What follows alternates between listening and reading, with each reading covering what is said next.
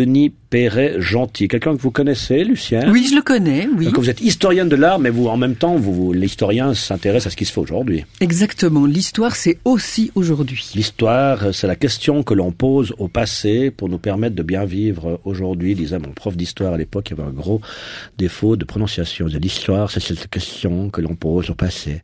Elle exige certains choix. Lorsqu'on, voilà, il parlait comme ça, mais ça nous a marqué, on a retenu cette phrase. C'est une bonne, bonne manière de voir les choses. Vous êtes euh, de l'art. Gérard Daillard est un peu historien de la musique, lui. Ah. Euh, il était tout à l'heure là pour nous parler euh, d'une œuvre euh, d'une brutalité extrême, une messe en patois franco-provençal. Vous m'amenez un livre aussi, c'est sympa, Lucienne. Oui. J'arrive pas à prononcer. Mad, Mad, Madge Gill. Madge, ah, c'est écrit Madge Gill, d'accord. Écrit par, paru chez Polychrome, Ide et Calande. c'est notre sujet du jour?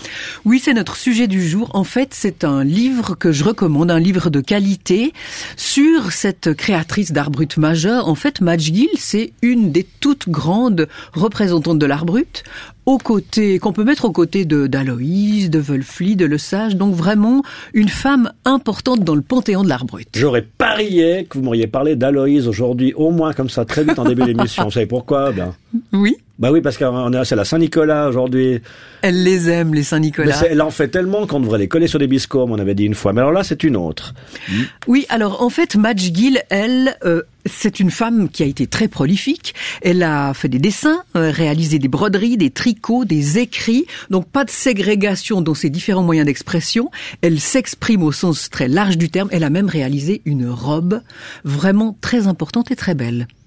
C'est quand même pas euh, étonnant, non Parce que n'importe quelle dame faisait des robes à l'époque. Oui, mais alors cette robe, elle se distingue de toutes les robes habituelles de cette époque, de cette fin de 19e siècle euh, anglais.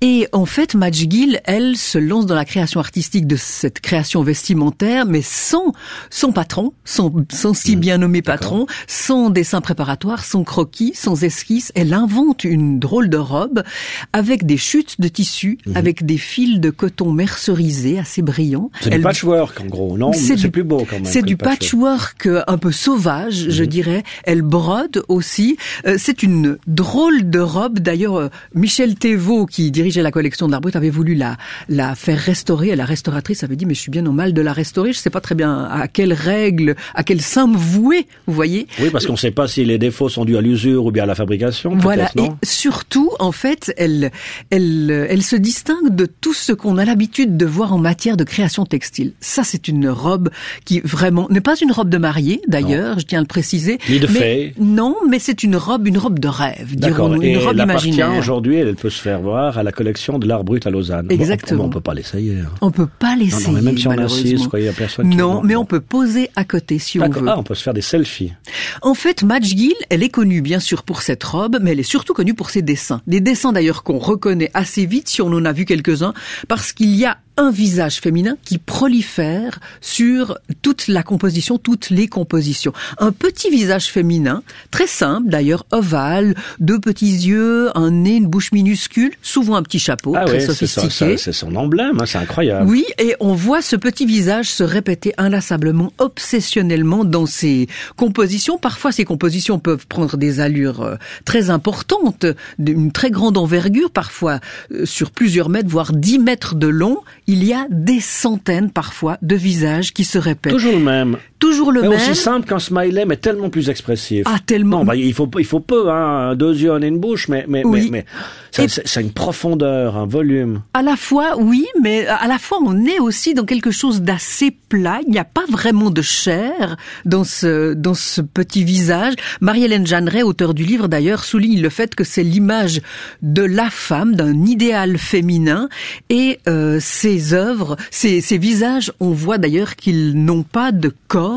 Hein, le corps est absent, il n'existe pas. Ou alors s'il est, s'il est présent, eh bien, il se fond dans le décor.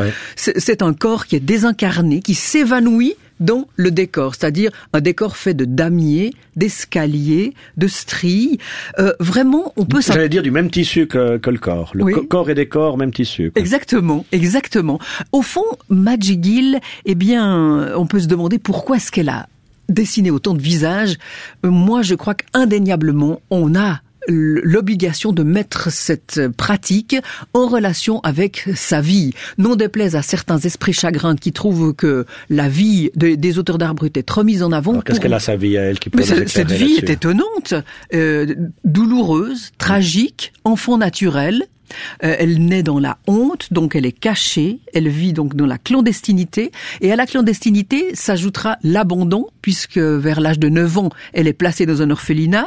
Ensuite, elle va fonder une famille, elle aura trois garçons, L'un d'entre eux mourra de la grippe espagnole en 1918 mhm. et un an plus tard, elle accouche d'une petite fille mort-née. Alors ce visage, qu'est-ce qu'il nous raconterait de sa vie? Alors c'est la recherche de quoi? De son identité de cette propre personne, de celle qui a été mise à l'écart, de celle qu'on a qu'on a à qui on a demandé de se taire, une femme en fait qui n'a pas pu vraiment euh, déployer sa propre personnalité et qui tout à coup, eh bien, s'est lancé dans la création artistique sans crier gare, sans, sans formation artistique, en étant autodidacte et en inventant dans toutes sortes de moyens d'expression artistique. Hein, je le disais, elle, elle fait des dessins, elle fait des tricots, elle, elle improvise au piano aussi. Et puis, ce qu'il y a d'intéressant, c'est qu'elle travaille souvent la nuit. D'ailleurs, elle souvent elle veillait son fils, hein, et euh, elle, euh, elle n'avait qu'un seul œil. Elle mmh. était borgne. Elle travaillait dans la pénombre et debout. On a l'impression que travailler de nuit avec un seul œil dans la pénombre,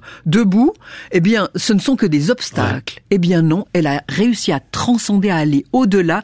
Et d'ailleurs, Marie-Hélène Jeanneret dit très justement que le fait qu'elle perde un œil, c'est comme si ça lui donnait une vision nouvelle, mystique, médiumnique, cosmique, fascinante et inventive. L'actualité de MacDegill, c'est la parution de cet ouvrage de Marie-Hélène Jeanneret cet automne chez Polychrome, I des Calandes. J'ai vu s'allumer l'œil de Gérard Dayer quand on a parlé de la borgne. Vous avez un œil sur la borgne, vous aussi? On a un œil sur la borgne et la Dixence aussi. D'accord, parce qu'il vient d'Hérémence. On a parlé tout à l'heure de ce patois d'Hérémence. C'est la rivière qui coule à Hérémence, c'est la borgne. Et un chemin qui longe la borne, c'est Longe-Borgne. Là se trouvent aussi ces ex-voto oui. que vous adulez. Vous avez une petite minute pour conclure. Oui, euh, j'aimerais souligner le fait qu'en fait, que ce, ce livre-là, je le trouve vraiment bien fait. C'est un livre de qualité et même pour moi, euh, c'est un ouvrage de référence sur Gill. Il est abondamment documenté. Il est très illustré. Très illustré avec des, des illustrations beaucoup, principalement de la collection d'art Vous n'avez pas terminé le colorier là, ce que vous m'avez donné. ah, on peut, on peut si. On pourrait, hein. Oui, on pourrait. Moi, j'ai beaucoup aimé la manière de travailler de Marie-Hélène Jeanneret, à la fois très rigoureuse, très sensible. Elle a été touchée non seulement par la souffrance, m'a-t-elle dit, de Gill, la résilience, mais aussi cette persévérance face à l'adversité et même elle avait peur, me racontait l'auteur, d'imaginer Madge Gill en train de dessiner. En relation avec My Inner Rest, un esprit qui peut-être était bien son alter ego. Et peut-être qu'elle lisait sur son épaule quand elle écrivait cet ouvrage, Marie-Hélène Jeanneret. En tout cas, ce qui est sûr, c'est qu'elle nous écoute. Ah, Car si on n'est pas en différé, en direct, on peut nous écouter en différé sur les streamings et les podcasts d'Espace 2. Merci.